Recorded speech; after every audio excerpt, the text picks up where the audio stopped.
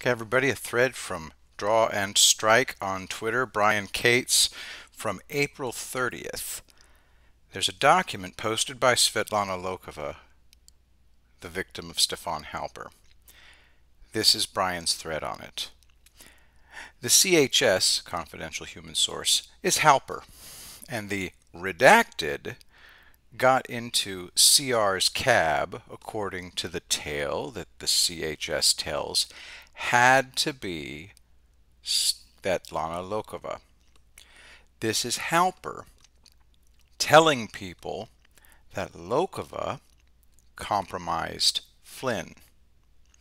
These redactions are worthless.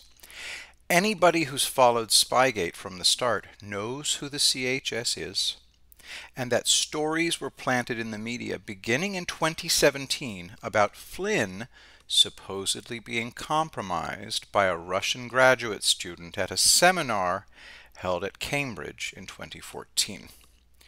And note this well.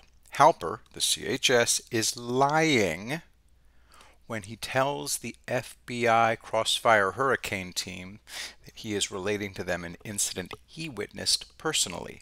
He was not there at the 2014 Cambridge Intelligence Seminar, dinner where Lokhova and Flynn met for the first and only time.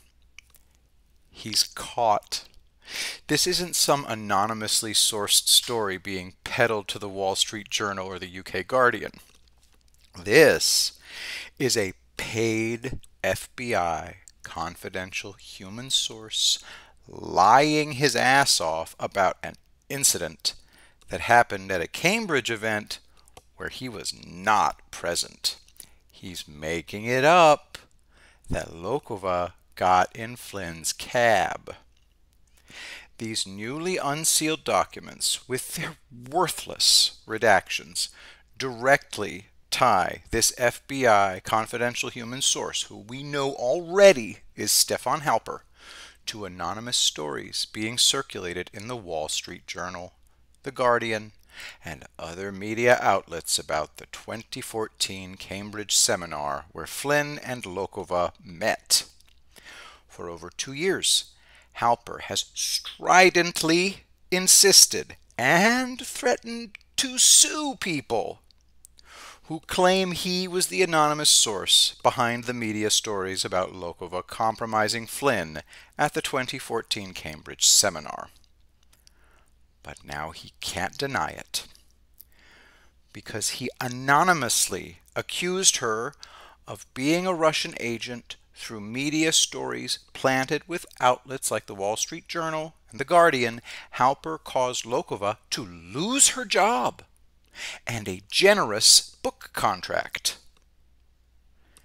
He would use her and then discard her to place Flynn under suspicion as she fought to get her life back, filing lawsuits and giving interviews. Halper has until now laughed this off because he thought he would be protected and nothing was going to happen to him.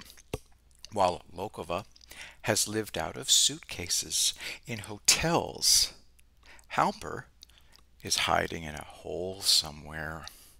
But now, there's official, unsealed federal law enforcement documents being provided by the Department of Justice itself, which reveal the FBI confidential human source telling the Crossfire Hurricane team members the same story.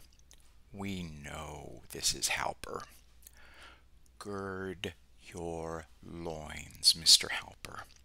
You're about to get dragged out of whatever hole you've been hiding in for the last two years. People don't understand why I'm excited about this. I only waited over two years for documentary evidence that Halper was the anonymous source going around planting the suspicion Flynn was a Russian agent by framing both him and Lokhova. Why is this hard to grasp?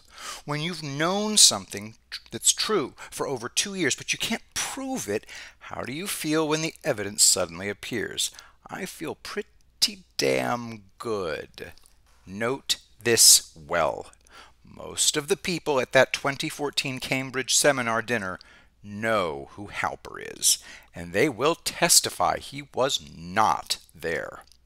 Halper told the FBI Crossfire Hurricane team a demonstrably provable falsehood about being an eyewitness when he wasn't there.